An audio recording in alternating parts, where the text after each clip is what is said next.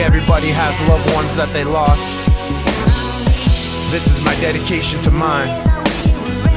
Rest in peace to my grandmother and my daughter, Nana and Natalia.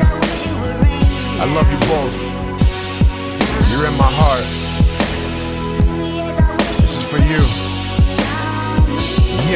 They say the good die young, but the great die older. And since you passed away, I swear my heart's a little colder. I'll never forget the 11th of July 2011. That's the day you passed away and went to heaven. I never thought it happened. I swore you were invincible, so now I spend each and every day just missing you. I really hope that you know you were my mentor. You gave me strength to get through everything I've had to endure. I swear it killed me to see you lying on your deathbed, to sit and watch the light slowly escaping from my best friend.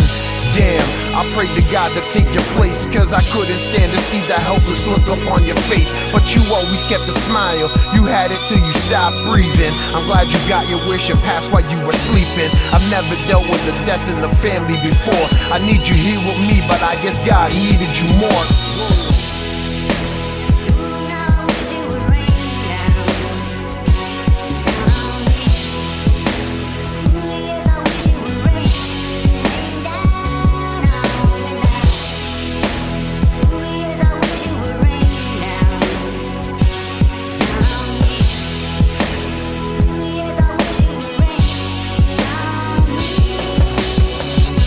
Since you passed, there's been some holidays that's come and gone. Everyone tried to front, but I could tell that there was something wrong.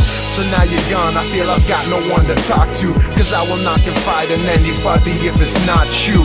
When I was locked up, you came every day to visit. You tried to make the real world not seem so distant. So please listen, I've got a lot to say. In fact, I wouldn't even know how to begin to try to pay you back. You raised me proper, treated me like your own kid. Me and you are a lot alike, that's why I'm so focused. So many things I wanted to say, the song's a good place to start. I can't say it to your face, I swear it breaks my heart. Maybe this song will start to get the sadness out of me. All I ever really wanted to know was that you're proud of me.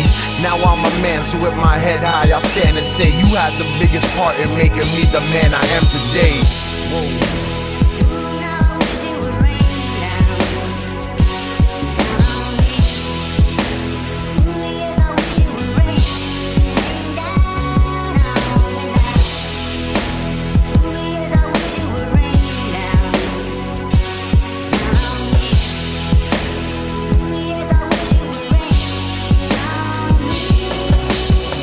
See, people wonder what's the reason that I don't smile. Cause not too many people know what it's like to bury your own child.